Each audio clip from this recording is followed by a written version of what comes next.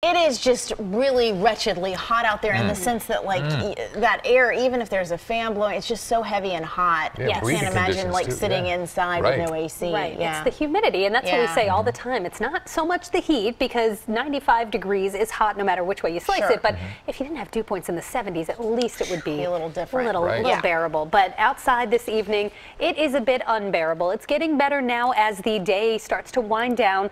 The good news is in September the sun sets a bit earlier, so that means the heat starts to drop off at least a little bit more quickly. But again, still today you needed to be down the shore or in the Poconos to get any real relief from the heat, unless you were basically floating in a pool all day, which sounds pretty nice. And I'm jealous if you were. Here's a look, live look at Cape May. You can see the beaches clearing out a bit.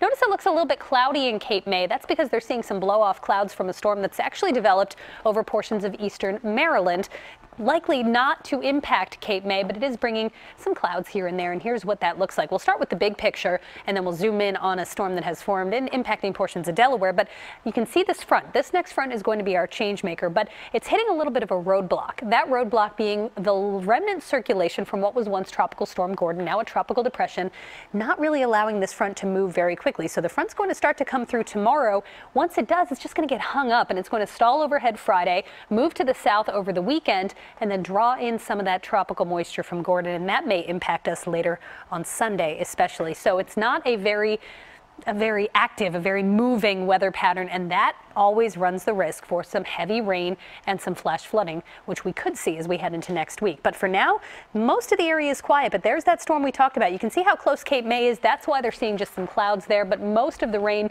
is just impacting the far western edge of Delaware and portions of Maryland as well. American Corner up toward Denton, seeing some pretty heavy rain and some thunder and lightning with that one particular cell. Most of the rest of the region is quiet. Overnight, it's partly cloudy. It is staying muggy. 76 will be the low. It'll feel like the 80s all night long.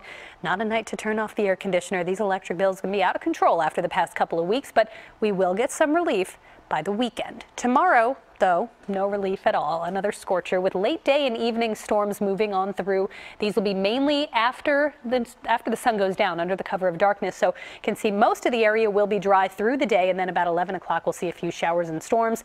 The front then stalls overhead. Friday still steamy, not as hot with the clouds, but still a few showers and thunderstorms around and that will continue into Friday night. So big changes ahead in the forecast. Look at the drop in the mercury. We go from 90s all week, 90s tomorrow to Friday, a bit of a transition as that front starts to sag south over the region. And then by the weekend, low 70s. There's a chance on Sunday that some spots don't even make it past the 60s, depending on just how much moisture and how much wet weather creeps on in Sunday. That'll be the coolest day. Monday, a shower or storm. And then it does start to warm back up next week, but nothing as hot as what we've had this week and last week. So we're moving away from it. Mm-hmm. Let's just hope it doesn't come back as we head into mid September. Yeah. That's for sure. Thanks, Kate. All right, Don's up next with more sports.